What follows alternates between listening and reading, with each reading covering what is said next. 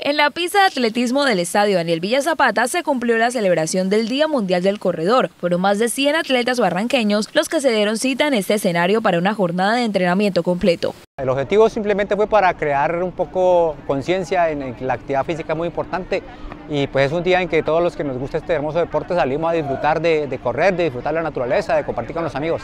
Excelente, es una actividad que, digamos que aquí lo que, lo que tiene que ver con el running es una actividad que viene en crecimiento y pues el Club Corredera Barranca Bermeja ha estado al frente de esta actividad, ha estado al frente de que, de que este deporte se intensifique. Aquí tenemos un deporte muy fuerte como el ciclismo, pero estamos motivando para que la gente también haga, haga atletismo, haga running y eso es eh, una forma de vida saludable que al igual que la bicicleta sirve mucho para, para no digamos, aquí no tenemos eh, eh, élite, aquí tenemos simplemente gente, que quiere mejorar su, estado de vida, su estado de salud, su, perfeccionar su, su vida diaria y eso sirve todos los días un poquito de ejercicio. En medio de este entrenamiento se realizaron carreras de 3 y 5 kilómetros como preparatorias de la Media Maratón del Sol que se realizará el próximo 20 de agosto.